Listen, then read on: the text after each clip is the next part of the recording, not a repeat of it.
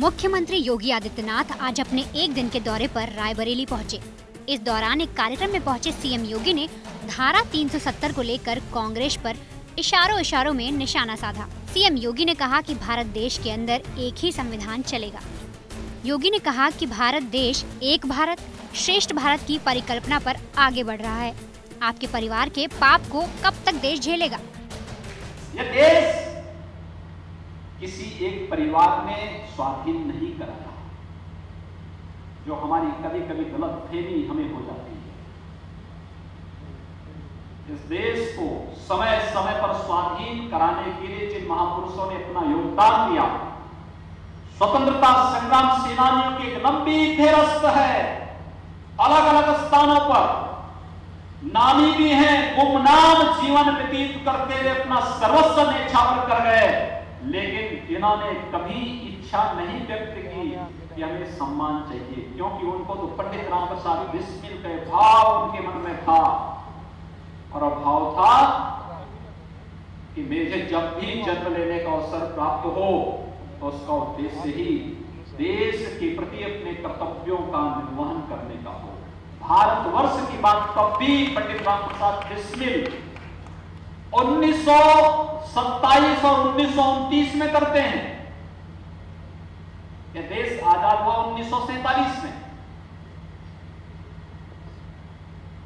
यह भारत अगर किसी एक परिवार ने बनाया है, भारत अगर किसी एक परिवार ने खोजा तो पंडित राम प्रसाद बिस्मिल किस भारत की बात कर रहे हैं? हमारा पुराण किस भारत की बात करता है? वर्षम तद भारतम नाम भारती तत्र संतति 2000 वर्ष पहले जो लोग भारत को एक नहीं देखना चाहते, जिन्हें भारत की स्वाधीनता अच्छी नहीं लगती, जिन्होंने अपने स्वार्थों के लिए भारत को जाति, क्षेत्र, मत और मज़हब के आधार पर बांटा वही लोग हैं जो छठ देश में आज फिर 370 का भी विरोध कर रहे हैं और कह रहे हैं कि लोगों की आवाज़ को दबाया जा रहा है।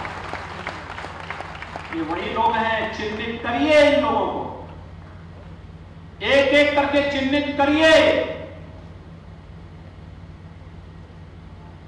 देश ही नहीं रहेगा? तो हमारा बल हमारा वैभव का क्या होगा हमारा सम्मान, हमारा स्वाभिमान, इस सब का क्या होगा गौरतलब है कि कांग्रेस महासचिव प्रियंका गांधी भी रायबरेली पहुँची हैं। वो यहाँ रेल कोच फैक्ट्री के निगमीकरण का विरोध कर रहे धरना प्रदर्शन में शामिल होने आई हैं। इससे पहले सीएम योगी आदित्यनाथ रायबरेली पहुँचे तो हेलीपैड पर विधायकों ने उनका स्वागत किया